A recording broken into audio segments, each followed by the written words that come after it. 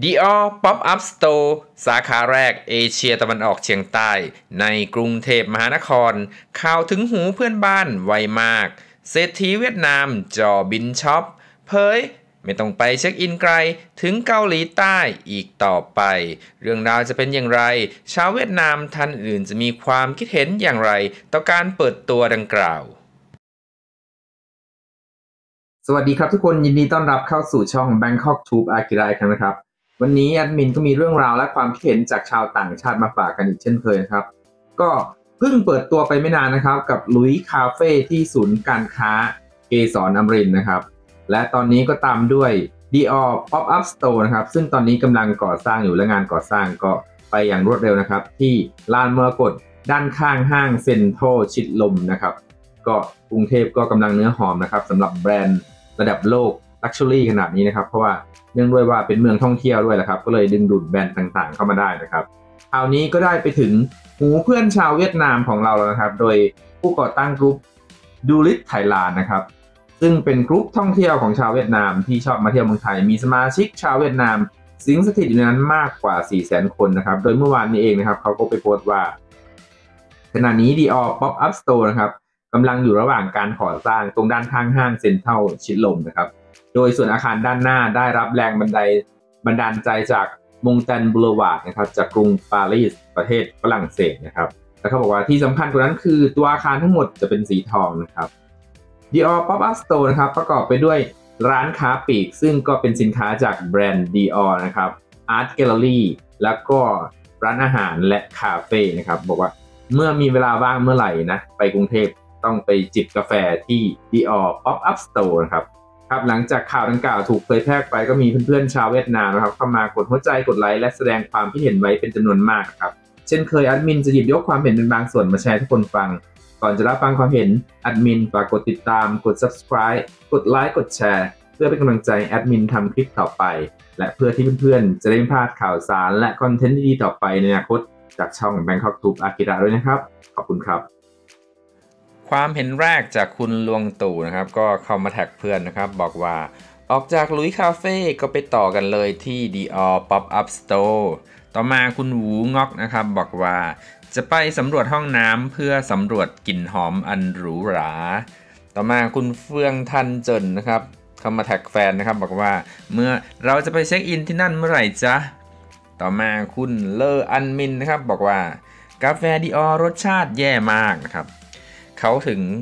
กล้าคอมเมนต์รสชาติของกาแฟ Dior ขนาดนี้ก็โปรไฟล์น่าจะไม่ธรรมดานะครับแอดมินก็เลยอยากทราบนะครับ ก็เลยคลิกเข้าไปดูนะครับ ในโปรไฟล์ของเขาคนนี้นะครับ แต่เนื่องจากไม่ได้เป็นเพื่อนเขานะครับ ก็ไม่ได้เห็นความเคลื่อนไหวล่าสุดนะครับ แต่รู้สึกว่าในปี 2022 ก็มีการแบบว่าถ่ายรูปขณะกำลังช็อปอยู่ในช็อป Louis Vuitton แห่งหนึ่งนะครับ ก็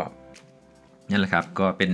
เศรษฐีท่านหนึ่งนะครับ ต่อมาคุณควินนูฟาร์มนะครับ ก็มาแท็กเพื่อนบอกว่าปีหน้าไปซื้อ Dior กัน ต่อมาคุณยศทังนะครับก็มาชวนเพื่อนนะครับ บอกว่าเราต้องไปสำรวจกันแล้ว ท่านต่อมานะครับบอกว่าแท็กเพื่อนเช่นกันนะครับ บอกว่าหลังจากดื่มกาแฟที่หลุยคาเฟ่เสร็จแล้ว เราสามารถไปดื่มต่อกันได้ที่ Dior Pop Up Store ต่อมาคุณเฟืองแอนนะครับ บอกว่า มีใครที่จะสามารถถ่ายรูปเมนู หรือทราบราคาเครื่องดื่มได้บ้าง กลัวจะเข้าไปแล้ว แต่จะร้องไห้หลังจากลืมชาไปแล้วไม่กี่แก้วนะครับท่านนี้ก็จะวางแผนนะครับว่าจะสามารถดื่มได้มากดื่มได้น้อยนะครับเดี๋ยวกระเป๋าแหกนะครับต่อมาคุณวังปุกเงียนนะครับบอกว่าปรากฏว่า Dior Pop Up Store แลดูดีกว่า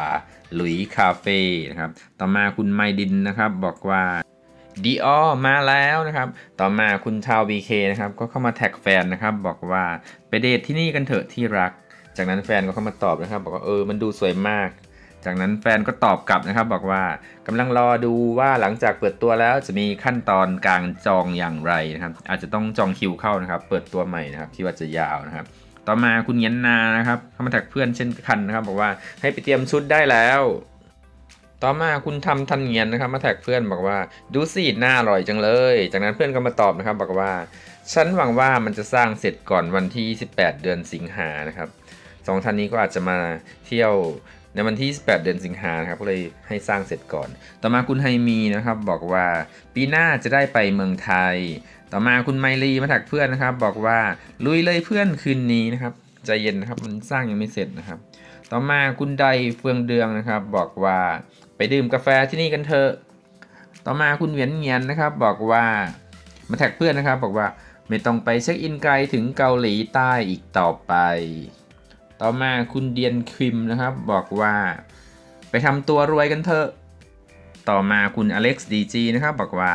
เปิดอีกแล้วฮ่าฮ่าฮ่าต่อมาคุณทาวแดงนะครับ มาแท็กเพื่อนบอกว่า ให้ค่อยๆ เตรียมตัวได้แล้วนะครับ คงจะประมาณถึงว่าเริ่มเริ่มเก็บเงินได้แล้วนะครับ ต่อมาคุณทางลำนะครับ บอกว่า เจอกันเดือนกันยายนนี้ ต่อมาคุณตวนแอนฟาร์มนะครับ บอกว่า ลุยคาเฟ่เปิดฉันยังไม่ได้ไปเลย ตอนนี้ Dior Pop-up Store เปิดอีกแล้ว ต่อมาคุณดงที่งอกเย็นนะครับ มาแท็กเพื่อน 3 คนบอกว่า ไปดื่มกาแฟที่นี่กันเถอะเพื่อน ต่อมาคุณงอกโดนะครับบอกว่าสวยมากเลย ต่อมาคุณบีจุงนะครับ บอกว่ายังไม่ได้ไปสักที่เลย แต่ก็มีที่ใหม่เปิดเพิ่มอีกแล้วท่านต่อมานะครับบอกว่าไปเที่ยวที่นี่กันเถอะเพื่อน ครับเดี๋ยวเราส่งท้ายกับอีก 2 ความเห็นสุดท้ายนะครับ คุณตูเย็ดนะครับ บอกว่าเราต้องไปเที่ยวที่นี่สักครั้ง ท่านต่อมาคุณงอกชินะครับ บอกว่าสุดยอดมากตามไม่ทันแล้ว กรุงเทพกลับมาก่อนครับและนั่นก็เป็นเรื่องราวและความคิดเห็นจากเพื่อนบ้านชาวเวียดนามที่แอดมินนำมาแชร์ทุกคนฟังในวันนี้นะครับเพื่อนๆฟังแล้วมีความคิดเห็นว่าอย่างไร อย่าลืมเปิดคอมเมนต์ใต้คลิป แลกเปลี่ยนพูดคุยสนทนาในเชิงสร้างสรรค์กันได้นะครับ และถ้าเพื่อนๆชอบคอนเทนต์ที่แอดมินนำมาเสนอในวันนี้ อย่าลืมกดติดตามกด subscribe กดไลค์กดแชร์ หรือซุปเปอร์แตงเพื่อเป็นกำลังใจแอดมินทำคลิปต่อไป และเพื่อที่เพื่อนจะได้ไม่พลาดข่าวสารและคอนเทนต์ดีๆต่อไปในอนาคต จากช่อง Bangkok Tube Akira ด้วยนะครับสำหรับวันนี้ขอบคุณมากครับ ที่ติดตามรับชมรับฟัง สวัสดีครับ